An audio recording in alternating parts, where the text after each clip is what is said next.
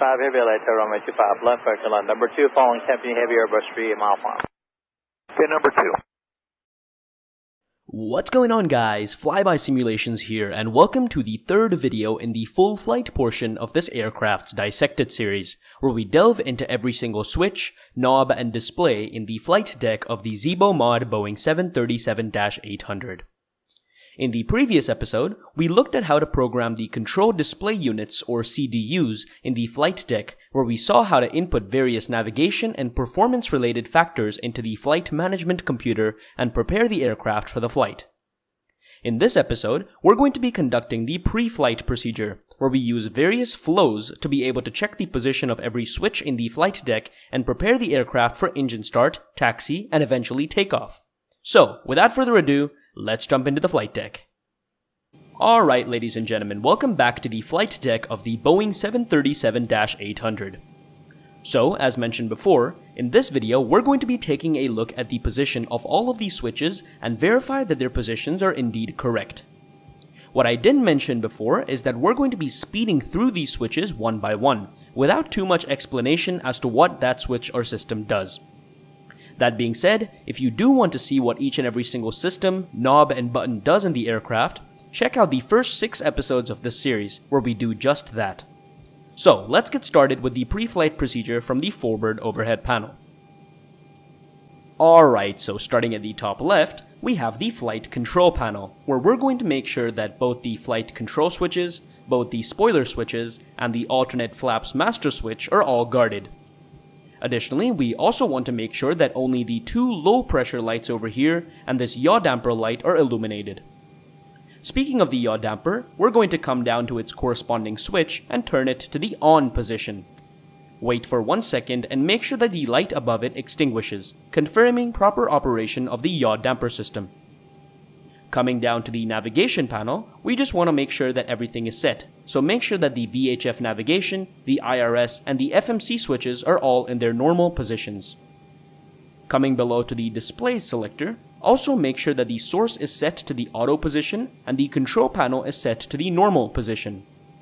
So in essence, no need to do anything on these two panels other than verifying the correct position of the knobs and switches. Coming further underneath, we have the fuel panel, where starting from the top, we're going to make sure that both the engine and spar valves on either side are dimly lit, and the fuel temperature gauge needle is between negative 45 degrees Celsius and positive 49 degrees Celsius. Coming underneath, make sure that both the filter bypass lights on either side are extinguished, and that the crossfeed valve open light is also extinguished.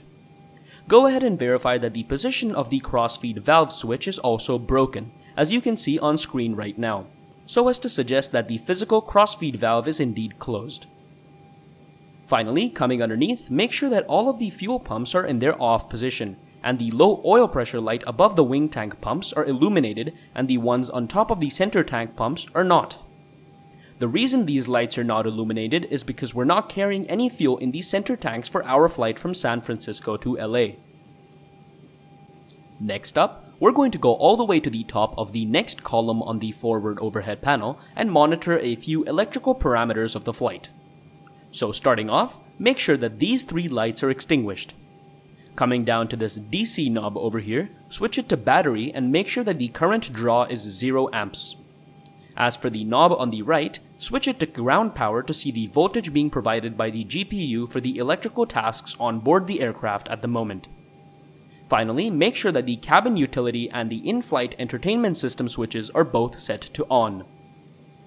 Coming further below to the standby power panel, we're going to make sure that the standby power switch guard is closed and the corresponding light is not illuminated.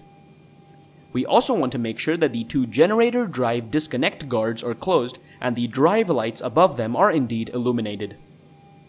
Coming below to the bus transfer and electrical source selector panel, Simply make sure that the two gen off bus lights are illuminated and that the bus transfer switch is guarded and closed. Next up on the procedure checklist, we need to make sure that the overheat, fire, and protection panel is set. Now, we won't really be doing this in this episode as we already covered it and performed an exhaustive list of fire tests in episode 8 of this series, so go check that out if you haven't seen it yet. So next up, we're going to be starting the all-important APU, or Auxiliary Power Unit within the aircraft, to make ourselves self-sustainable electrically and to get some bleed air within the aircraft to operate the air conditioning systems. So, simply come down to this APU switch and flick it to this start position and release it. It should automatically jump back to the on position, and this low pressure light above should come on. Additionally, you will also see the APU EGT or exhaust gas temperature reading increasing on this analog gauge over here. Now note that starting the APU takes around 2 or 3 minutes, so I'll see you guys when the APU is up and running.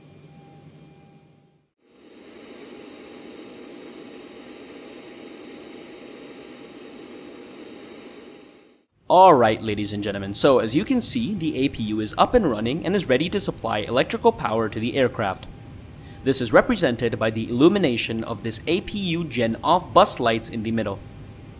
So to individually power both sides of the aircraft, simply flick both these left and right switches down to the on position like so.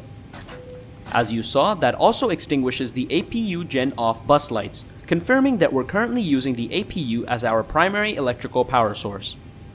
To confirm that we're getting enough power to be used from the APU, simply go back to the AC and DC power monitoring panel and switch this AC knob to APU Gen. As you can see from the CPS frequency indications as well as the AC amps and volts, we're clearly drawing power from the APU and it is indeed running successfully. Alright, next up, on this middle column, we're going to go ahead and flick this emergency exit light switch guard down, which automatically places the switch in the arm position. This means that the emergency exit lights will automatically come on in the passenger cabin in the event of an emergency. Coming underneath, we're going to switch the seatbelt sign to the on position. Note that you must only do this after fueling has been completed in the aircraft. So since we fueled up our aircraft in the previous episode, we can go ahead and turn on the seatbelt signs so that the passengers entering the cabin immediately know what's expected of them from a safety standpoint. Finally, on this column, again make sure that the windscreen wipers are set to park mode and aren't set to any of the on modes by mistake. Alright, with the middle column taken care of, let's come to this external instrument heating panel and make sure that the overheat and on lights above the window heat switches are extinguished. Then, we want to make sure that all of the amber lights next to the probe heat switches are indeed illuminated. For the final test on this panel, Flick this test switch up to see whether the overheat lights are working, and then flick the switch down to make sure that the on lights are working as intended as well. With that all done, go ahead and flick all of the four window heat lights to the on position and note that the green on lights above them do indeed come on. Coming down to the icing panel, make sure that none of the lights are illuminated and that both the wing and engine anti-ice switches are turned to the off position. Finally, coming down to the hydraulic panel, make sure that the low pressure lights above all the switches are illuminated and that the engine hydraulic pumps are turned on and the electrical hydraulic pumps are turned off. Additionally, also make sure that the low pressure lights above all the switches are indeed illuminated, but the overheat lights above the electrical hydraulic switches are extinguished, which they are in this case. Alright, with that done, we're going to skip the cockpit voice recorder and the pressure monitoring panel underneath and move straight to the final column on the right of the forward overhead panel. So here we have the internal air temperature control panel, where the only thing we're going to do is to turn on this trim air switch. Again, if you need a detailed understanding of what the trim air system does in conjunction with all of the other primary subsystems within the aircraft, I highly recommend you to check out all of the previous episodes of this series. Anyways, once that's done, we're going to come down to this main air conditioning panel and manipulate a few switches. So starting from the top, we're going to make sure that the left and right recirculation fans are set to the auto position. Coming down to the packs, we're going to move both of them to the auto position as well, like so. While on the ground, we're also going to leave the isolation valve switch in the middle to the open position, which is the downmost position as you can see on screen here. Finally, coming all the way down to this trio of bleed air switches, make sure that the engine bleeds are indeed on, and then switch the APU bleed switch down to the on position as well. What this does is to allow the bleed air produced by the APU we just started to enter the pack system and the mix manifold system to be conditioned using the trim air to eventually be introduced into the cabin as temperature controlled air for breathing and comfort. So that brings us to this last panel on this rightmost column on the forward overhead panel, which is this pressurization panel. So again, starting from the top, we're going to dial in our cruising altitude for today's flight in this flight altitude display, which is 35,000 feet in this case. Next up, in the landing altitude display, we're actually going to go ahead and dial in the altitude of our departure airport, as we might be required to circle around and land back at San Francisco in case of an emergency. So as seen on airport charts, that altitude is around 13 feet, and the display itself only changes in increments of 50, so we can leave the display to 0 in this case. While on this panel, also make sure that the pressurization valve switch is in the middle position and the system itself is switched to the auto position. Coming down to this external lights and engine master strip, from left to right, make sure that all landing lights are off and the runway turnoff and taxi lights are off as well. In the middle, make sure that both the engine start switches are set to the middle auto position and that the engine igniter switch is either set to left or right. Make sure it's not in the both position by any chance. Coming to the right, if you're flying at night or during poor visibility conditions, make sure to turn on the logo light. Moving right, make sure that the position light is in the steady position, as we set it at the start of the previous episode. Finally, make sure that the anti-collision light, the wing light, and the wheel well lights are all off. So, with all of those steps completed, we have now finished configuring the overhead panel at this time, pilots would normally contact the clearance delivery controller at the airport and request for their departure clearance. Additionally, they will also note down the ATIS information, which we covered in detail in the previous episode of this series, so go check that out if you haven't already. So next up, we're going to be taking a look at the forward panels to prep the aircraft for eventually starting the engines. So, starting off, we're going to head into this mode control panel and turn on both the flight director switches. So since we're flying from the left side today, we're going to turn on the left flight director first and then the right one. This is because of the slave and master concept, however you can learn more about that in episode 5 of this series. Next up, we're going to this EFIS panel and setting some important information here. So as you can see on the procedure checklist, we're going to go ahead and enter the minimums for the departure aerodrome. So the minimums for our departure runway 28 right, as you can see, is 213 feet radio and 200 feet in baro. So simply go ahead and set the back knob here to the radio mode and use the front knob to set 213 feet on the PFD, like so. Next up, let's come to this knob on the right here and set the QNH or altimeter setting to 29.90 which is the current altimeter setting based on the ACARS data we received in the previous episode. Once both of these are done, do the same thing on the first officer's display and the standby display as well, but doing it for the captain is enough if you're flying from this seat. Next up, we're going to set a few other miscellaneous instruments on the forward panels. So starting off with the oxygen masks, simply go ahead and press this test switch to verify the flow of oxygen within the pilot's masks.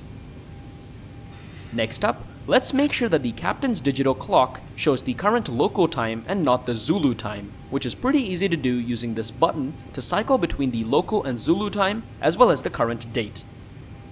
Next up, we're going to make sure that the display select switches are both set to the normal position, so as to show the PFD on the outboard display unit, the ND on the inboard display unit, and other normal display configurations.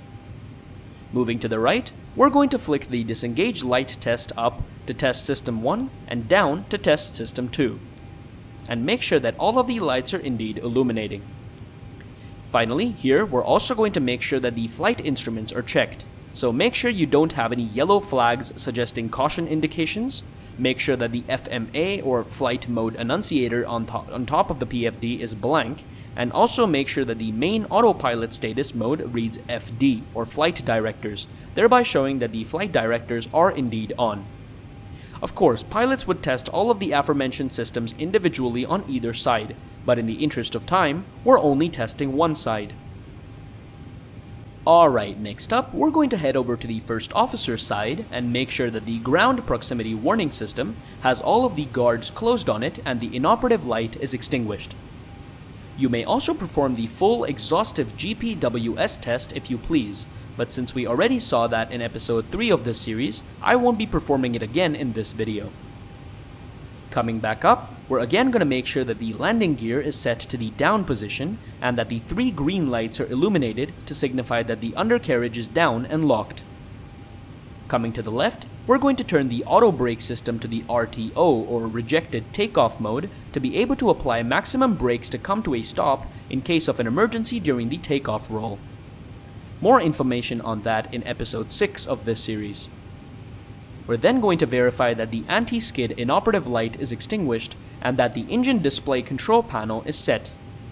So make sure that the N1 setting is auto, the V-speed setting is also auto, and the fuel flow switch is set to this middle rate position.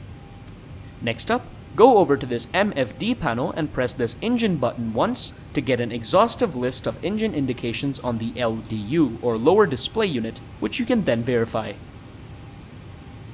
Alright, so the last set of tasks for the first officer in the pre-flight procedure require us to come back to the central pedestal we looked at in episode 2 of this series. So, to start off, we're going to go ahead and press this test button on the cargo fire panel to make sure that the appropriate lights and alarms are working as intended, like so. Next up, we're going to make sure that the radio tuning panel is set.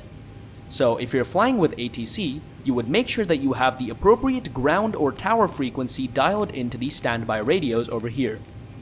However, since we're not flying with any ATC, we're only going to be configuring the nav radios over here. So we're going to enter the ILS frequency for runway 28 right at San Francisco into these displays, which as you can see on the airport charts is 111.7. The reason for this is again for redundancy, in case we have some sort of emergency right after takeoff that requires us to perform a traffic pattern around the airport and return back to the runway. Finally, we're going to come down to this transponder panel and make sure that the squawk code is entered as required and that the appropriate TCAS system is also set. For now, we're going to leave the squawk code to 2000 and the TCAS system to stand by. Alright, so next up in the procedure checklist, we have the pre-flight procedure for the captain. So in real life, the captain and the first officer both set their side of the flight deck individually. However, we simmers don't have the luxury of having a co-pilot and must do everything ourselves.